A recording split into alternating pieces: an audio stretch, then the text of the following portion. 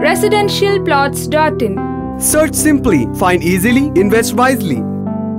కొద్ది కాలంగా అధికార తెలుగుదేశం పార్టీ కడప జిల్లా రాజంపేట ఎమ్మెల్యే మేడా మల్లికార్జున రెడ్డి. పార్టీ నాయకులపై అలాగే ముఖ్యమంత్రి చంద్రబాబు నాయుడుపై అసంతృప్తితో ఉన్నారని వార్తలు వచ్చాయి. అంతేకాదు జిల్లా టీడీపీలో నెలకొన్న కారణాల వల్ల ఆయన త్వరలో పార్టీకి గుడ్ బై చెప్పనున్నారని కూడా వార్తలు వచ్చాయి. అయితే తాజాగా తనపై వచ్చిన వార్తల గురించి మేడా మల్లికార్జున స్పందించారు. ఈ సందర్భంగా ఆయన మీడియాతో మాట్లాడుతూ కొద్ది రోజుల నుంచి తాను పార్టీ వీడుతున్నానంటూ వస్తున్న వార్తల్లో ఏమాత్రం నిజం లేదని కొందరు జిల్లా టీడీపీ నాయకులు తనపై దుష్ప్రచారం చేసి పార్టీ నుంచి వైదొలిగించేలా చేస్తున్నారని ఆయన మండిపడ్డారు. వారు చేస్తున్న వదంతులను నమ్మవద్దని తన అనుచరులకు పార్టీ కార్యకర్తలకు మేడా సూచించారు. అంతేకాదు ఈ రాజీనామా పంచాయతీ ముఖ్యమంత్రి చంద్రబాబు నాయుడు దగ్గరకు కూడా వెళ్ళింది. ఇక ఈ వదంతుల నేపథ్యంలో మేడా మల్లికార్జునకు ముఖ్యమంత్రి చంద్రబాబు నాయుడు ఫోన్ చేసి వెంటనే తను కలవాలని సూచించారు. పార్టీ అధినేత సూచనల మేరకు మేడా శ్రీనివాసులు రెడ్డి ఇతర నేతలతో కలిసి సీఎం కార్యాలయంలో చంద్రబాబును కలుసుకున్నారు. ఆ తర్వాత జిల్లా టీడీపీలో జరుగుతున్న రాజకీయాలను వివరించారు మేడా. అంతేకాదు తాను రాజీనామా చేస్తున్నానని కూడా ప్రచారం చేస్తున్నారని ఆయన ముఖ్యమంత్రి దగ్గర వివరించారు. తాను చిన్న చిన్న సమస్యలను పట్టించుకోనని